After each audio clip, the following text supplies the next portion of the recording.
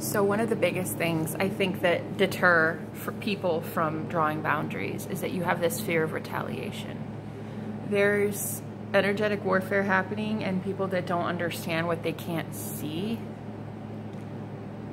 It's, I mean, yeah, it's going to be really difficult because you wonder why this person's like snapping back at you. Like, I remember in the past, I would be like with a really, like, very spiritual people very spiritual people. But I started to get like really bad vibes because, like, say for instance, uh, I started noticing that they were talking about things that like they were cool with that I wasn't cool with, like some entities that they play around with, and and I just uh, I'm I love Ouija boards. I do. I don't think everybody should use them but I'm into divination. I love Ouija boards. But when people would tell me like they're dabbling in things and they're like they're cool with whatever comes through and stuff, I'm like, okay, so so you don't really care about your psychic health that much though. Like you're cool with the attachments that come through. Okay. I'm glad I'm noticing this. And I would start recognizing the red flags of these spiritual people. And I'm like, but you're saying things like, no, it's cool um, I'm pretty sure you'd understand, Jenna. Like, you, you seem pretty cool with, like, a whole bunch. You're pretty open-minded. Like, I feel like you'd be all right with it, right? No. No, not really. no, not really. Um, I'm cool with you doing whatever the fuck you want to do. But, like, stay out of my energy. Stay out of my energy. Stay out of my home. Stay out of my bed. Stay out of my dreams stay out of my cell phone, stay out of my contact list, like stay out of my life. You can do what you want to do, but like don't do it around me because I give a shit about my psychic health. I buy salt in bulk, okay? I do salt cleanses, I do egg cleanses, I I I do return to sender spells. I do I just I just do I do a lot. All right, I do a lot to take care of my psychic well-being. So when I have these friends that that would say things like, "Yeah, but like I want to explore and I want to just know, you know, I want to know the darker things." Okay, that's perfect. Um, I suppose we all go through that phase. That's cool, but that's like a phase. That's where you're at. I guess I kind of already went through that phase. So I'm starting to notice that especially in the spiritual community where people lose friends like underwear. I mean, it, it, you go through friends in the spiritual community like celebrities go through marriages. Let's be real. On the ascension path, you can ascend so quickly, like in a matter of days, and, and lose contact with like half of the people around you because you just don't resonate at that level with them anymore. And you'll start to hear things when you become more and more enlightened, when you become more and more awake, you start to awaken to the truth that they're okay with some of the things that they're doing that are keeping them in a low vibration. But you weren't, though. You made the sacrifice to stop whatever it was, right? You would have loved to have had fun too, sure, yeah, but you don't. You take care of your psychic well being, you take care of your psychic health. And here's where the, the kicker is. A lot of you are so ready to let go because you're spotting these red flags, but the problem is you're afraid of the retaliation that's going to come to you from these people when they realize that you no longer are um, going to be energetically giving to them. The, the, the biggest thing is they feel judged. Like, wow, you're just, wow, so much better than, huh? Better than. Better than. This is a common projection sent your way for ascending. Wow, you're just so much better than, huh? Wow. Just like righteous and pompous. And it, it, it, this is a projection that is easily made when you start to dis distance yourself between people who are okay with just letting anything into their energetic field and you who are not. One of the biggest things, evil eye, that shit is real and it comes at you like a fucking freight train. And for for those of us who are waking up to it psychically, using your third eye, using your psychic gifts, you can see that shit from a mile away. You understand what evil eye looks like. I remember I remember one of these friends that I was telling you about, that, mentioning this, they would, they, they reached out to me after, I don't know, like a year and a half of not speaking. The second they did, the second, I, I, I mean, maybe within like an hour, but you know what I mean. Within an hour of receiving word from this person, for a whole hour, I was like, I was scared. I was in fear. I was like, wait, wait, what's going on? What's going on? Why do I feel this way? A thunderstorm came in, and my apartment is really, really old. This is like a really old place. And they actually have a crack in the wall where water was gushing in from the storm. It was the worst rainstorm I'd ever had in two years in this apartment.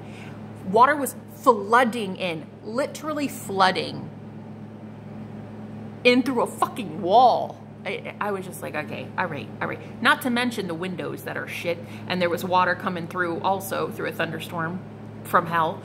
But it was the it was the crack in the wall. This water was gushing out. I mean, maybe like a gallon, a gallon every couple minutes. It was that. It was that profound. And I was like, okay, that is fucking black magic. It, that is literally the universe saying, if you invest in this person again, you get involved in this, you're done for you're done. So I can't remember what I did. I definitely did not talk to that person more than one response. I don't even know if I responded at all. Actually, I don't think I did. But I'm telling you that, that, that's one thing that I think a lot of us are afraid to really draw boundaries because you you're, you're scared of the retaliation that might come at you energetically. But the higher vibrationally you get by removing people, places, and things that aren't serving you anymore, the more clearly you're able to see when black magic is being sent your way. And it's not people doing it intentionally, it's just that they've dabbled in things, they've been dealing with things, and they didn't clear the energy. So they're trying and hoping and praying to God that you can take it from them. Oh, hey, I, have missed you, and like it's it's really great to talk to you again. Like like, um, do you want to go for tea? Like it'd be really great. Mm, nah, not when your fucking apartment is flooding. Don't trust it, okay? So that's one thing that I think is really hard for empaths is you, especially in the spiritual community, you're gonna leave people who are very spiritual. One of the biggest fears you have is like they'll put a hex on you or a curse on you or they'll send evil eye. Honey, some of the most powerful witches I've ever met in my life are former friends that I ended up having to walk away from. And I'm telling you right now, it scared me too, but I still did it. And I'm still here to talk about it. I'm still kicking. Any evil eye they send me, I just send that shit right back. I'm just as powerful as they are, right? I, I'm allowed to say yay or nay to anybody in my life.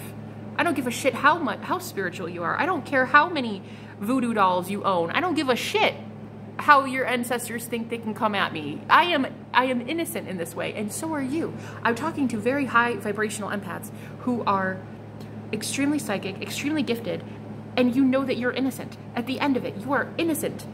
That is why you're walking away, because your high vibrations are, well, you're godly. You are divine. You have nothing to be ashamed of in walking away, you have nothing to be angry about. You have they have nothing to be angry about you're allowed to do what you need to do to get out of a really, really bad situation. I don't care how many people around you are spiritual. They can't do anything to you unless you allow it. Unless you make a contract with that person. Like if I would have, for instance, brought that friend back, you know, and we started talking again, I would have been telling the universe that I believed, even though I was seeing signs from my the, the, the universe itself saying, don't fuck around with this person.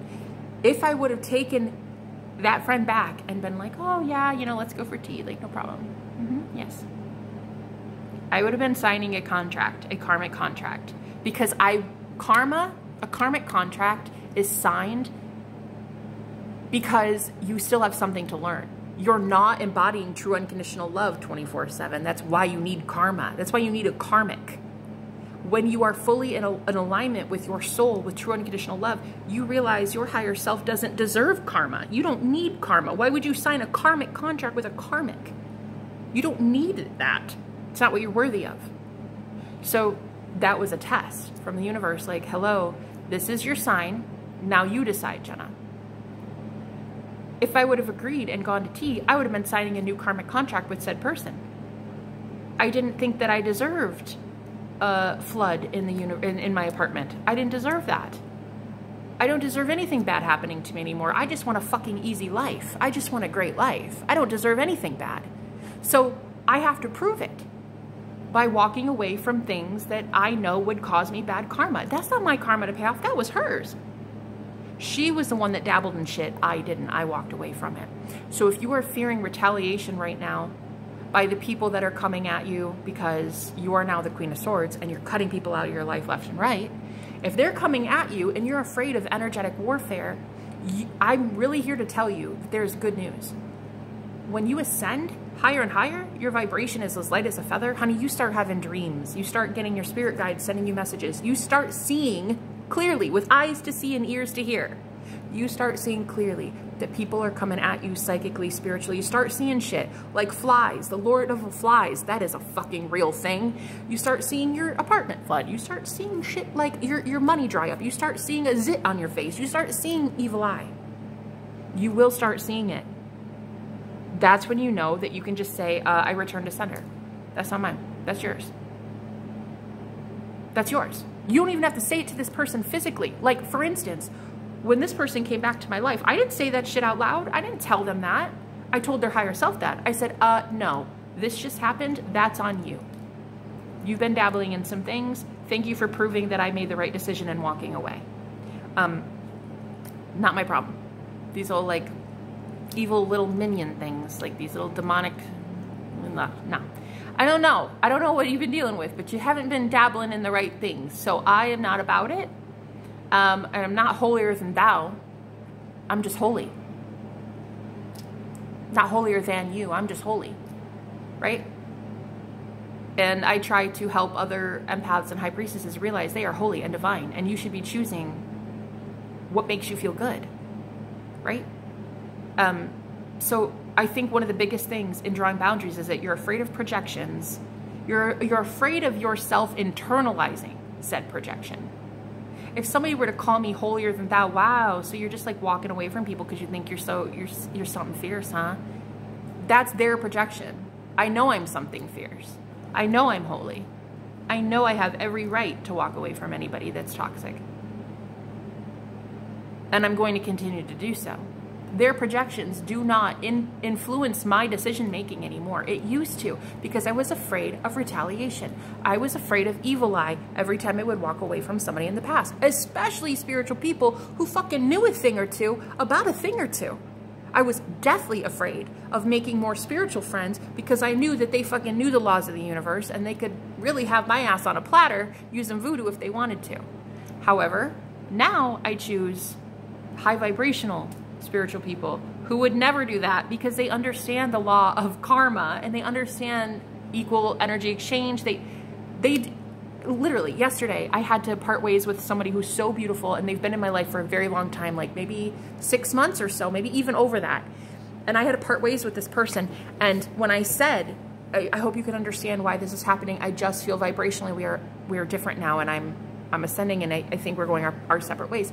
I was so surprised to hear her say, I completely understand. I meditated on it and I got this exact message from Spirit a couple days ago as well. I am sending you nothing but blessings and high vibes. And she, she literally wrote a prayer to me. She sent me all this good, like blessings. Uh, she sent me a farewell and it was like she just wrote nothing but kindness about me. Um, and and then even told me a premonition that she had about my future and I was really grateful for. But the point is like, you now see that you are love Therefore, you are only bringing in people who are vibrationally aligned with love.